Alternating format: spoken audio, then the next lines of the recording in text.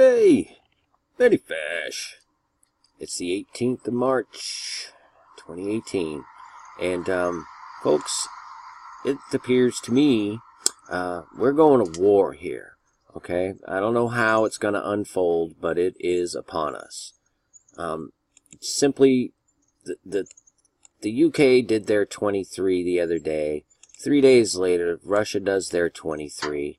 And at the very same time, Russia's going to beat NASA to Mars, and the president is out there boasting about the space race to Mars with his 322 death machine there with his fist pumped in the air. You understand what I'm saying? I mean, this is just like, to me, it's absolutely ridiculously obvious that this is, in fact, what we are going to see real soon. And the 23 and the 23 are merely telling us that this separation is occurring and you need to be in the right place when it does. And by the separation, I can only explain it really through, you know, the simplest of manners. And the reality of it is, is we are both, all of us really, we're made up from part of our mom, part of our dad, right? We get 23 chromosomes from our mother, 23 chromosomes from our father. That's how it works. And illustrating it like this is important because why we have darkness in this world and why we have this vicious lying and, you know, all of it, all the stuff that many, and not most of the world hates. Every human, when asked the question, what do you want most in the world?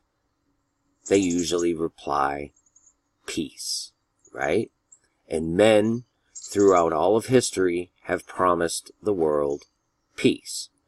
And it's never been achievable, and it never will be achievable. The only way it's achievable is through the Spirit of Christ. And that's just a fact. This world is cannibalistic and it will continue to just kill itself over and over like a vicious serpent eating its tail. That's what it is. You have the good half of you and you have the bad half of you. In the middle is the prison. That's where the hatred dwells. That's why God put the enmity between the serpent seed and her seed. You understand?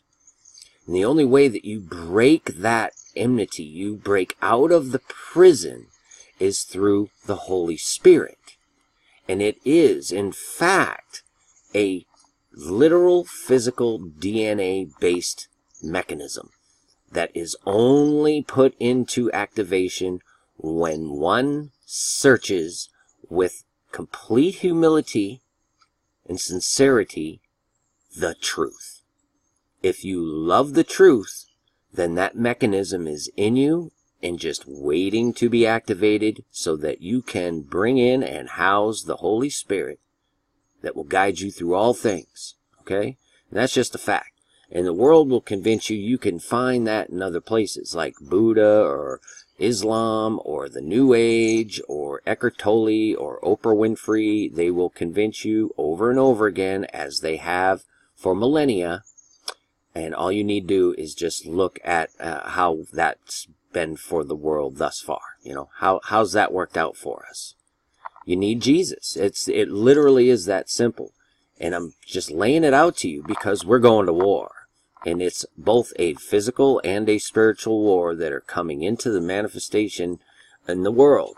And it's going to come to a point where you're not going to be able to deny it, but you don't have to go to that point of like terror to start to call on his name. You call on his name now, and he will keep you through anything. Literally anything can come upon your life, and you're good to go.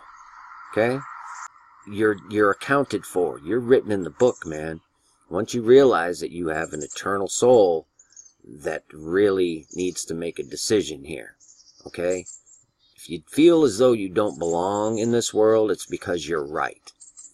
But the only way you're going to know how to actually separate yourself from this world is through Jesus Christ and his blood. And so you need to seek him.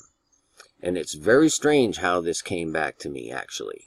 I was looking at both of these things, the whole Mars thing and the 23 expulsions and all these things, and it brought me to remember the, of Trump's um, Houston Astros visit he had the other day when he received the 17 jersey.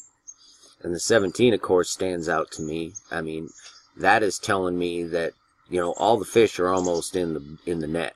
You, and, and if you're not in the net, you gotta you gotta get over the right side of the boat. Start fishing over there. Get over there, where Jesus tells you to go. I'm just telling you, there's no time for you to mess around. And so this brought me back to the actual World Series, and I remembered this image that I had looked at. This one here that they put out. And this illustrates the same exact thing. You have the road separated you have the guys in the white, and it's kind of nice over here. You have these guys in the orange, and it's not so nice over here. Welcome to the World Series.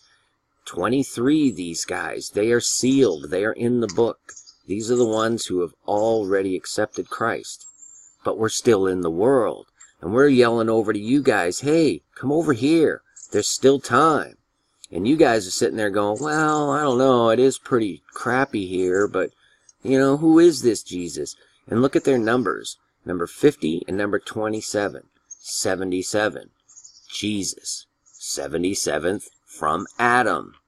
How, where did all this, this enmity come from? And all this 2323 come from? Adam and Eve. It comes all the way back there. Jesus is 77th from Adam. 77. Jesus is still in the world. You still have time. There's still an open door. You know, take it while you can. Because we're going to war. This is all I can tell you for sure. And no, I don't know what day. it's happening, folks. So please get right with God. That's, that's the big thing. Get right with God. Okay? I pray that this makes sense to somebody out there. Peace and grace to all of you. Many Fish. Finally, my brethren, be strong in the Lord, and in the power of his might. Put on the whole armour of God, that ye may be able to stand against the wiles of the devil. For we wrestle not against flesh and blood, but against principalities, against powers, against the rulers of the darkness of this world, against spiritual wickedness in high places. Wherefore take unto you the whole armour of God,